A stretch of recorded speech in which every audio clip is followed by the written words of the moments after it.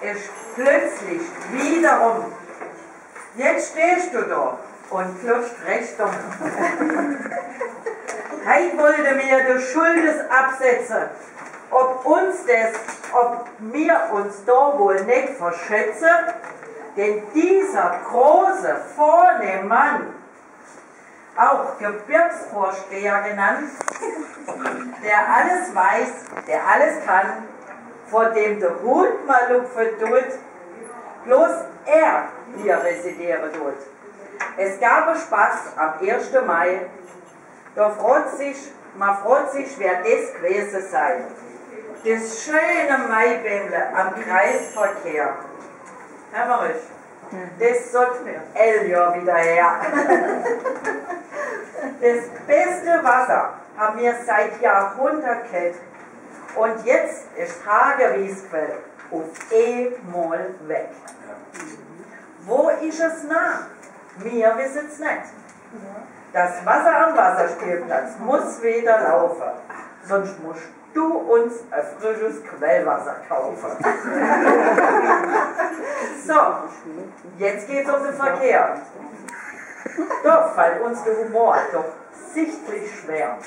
Götz, Lupine, Frau Konstraß sind Holperpiste ohne Augenmaß. In jedes Schlagloch, oh ihr Narren, werd ich ein bisschen Erde karren.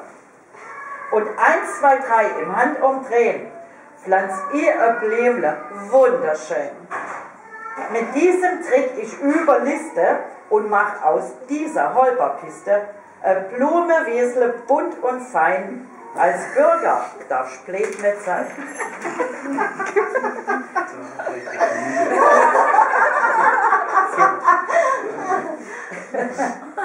Die Filterhauptstraße ist, soweit ich sehe, fast so schön wie die Champs-Élysées.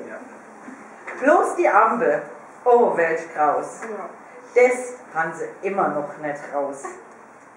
Umfahre mir der Kreisverkehr nach Scharnhausen, kommt uns das große Krause. Da sehe mir die Spitzkrautheible liegen.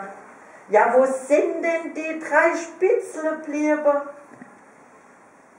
Ein dreifaches kräftiges Spitzle! Au! Spitzle! Au! Spitzle! Au! Edgar, helf uns doch aus und gang nunter ins Sturgeter Rathaus. Da hat's doch genug von den Spitzeln. Sei so gut und bring aus dem Rathaus drei Sturgeter Spitzle mit. Doch weil es weiß ein jedes Kind im Rathaus doch nur Engel sind, so nehmet euch ihr Narrebengel als Vorbild unsere Rathausengel.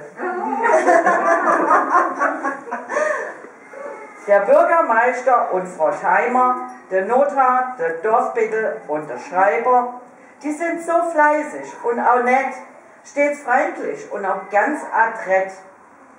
Der Hemmerich ist so gebildet und so gescheit.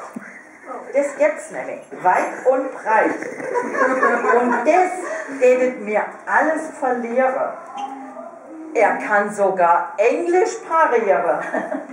Sei Englisch ist im, Wind, im Sommer wie Winter mindestens so gut wie das vom Oettinger Günther.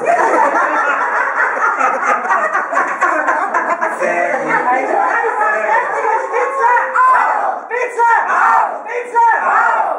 So, jetzt höre ich langsam auf zum Schwätzen. Ein mancher, der das richtig schätze. Ganz